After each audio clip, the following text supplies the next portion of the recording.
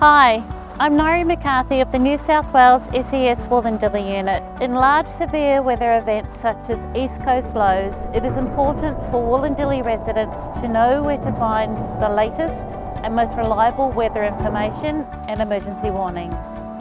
This information will help you make important decisions about the safety of you and your family, as well as ways to minimise damage to your property or business.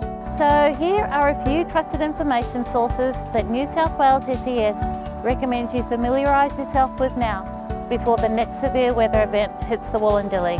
The New South Wales Bureau of Meteorology website is your single source for severe weather warning information about heavy rain, damaging winds, flash flooding and hail.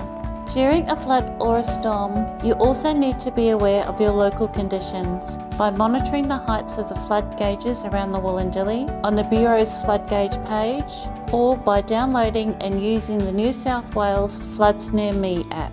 Being informed about predicted severe weather, weather warnings and local conditions will help you prepare and look after the things that are most important to you during floods and storms. Severe storms and flash flooding will happen again in the Wollondilly. The risk is real. Go to www.ses.nsw.gov.au for information on your flood risk and how to prepare.